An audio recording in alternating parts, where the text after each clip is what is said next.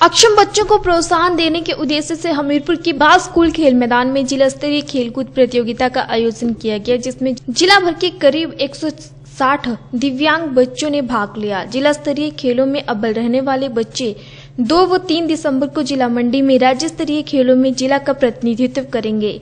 जिला युवा सेवाएँ खेल विभाग के अधिकारी सुदेश धीमान ने खेलकूद प्रतियोगिता का शुभारंभ किया और विजेताओं को इनाम भी बांटे। जिला युवा सेवाएँ खेल विभाग के अधिकारी सुदेश धीमान ने बताया कि जिला स्तरीय अक्षम बच्चों के लिए खेलकूद प्रतियोगिता का आयोजन किया गया, जिसमें जिला भर के 160 बच्चों ने भाग लिया।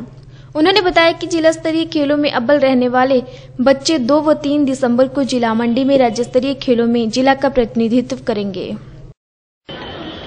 सबसे पहले तो मैं धन्यवाद करना चाहूँगा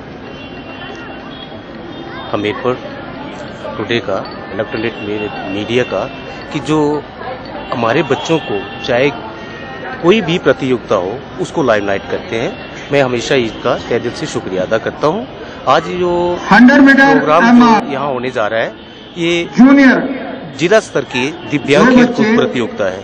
इसमें 100 लगभग मीटर 160 बच्चे जो हैं विभिन्न विभिन्न श्रेणी से जो दिव्यांग हैं। वो इसमें हिस्सा ले रहे हैं। अलग अलग इसमें आयु वर्ग है। पंद्रह से लेके आठ सॉरी आठ से लेके 100 मीटर MR तेईस साल तक के बच्चे इसमें शिरकत कर रहे हैं। इन बच्चों का आने का जाने का खाने का रहने का जितना भी खर्चा होगा वो हमारा युवा सेवाएँ खेल विभाग इसको बियर करेगा।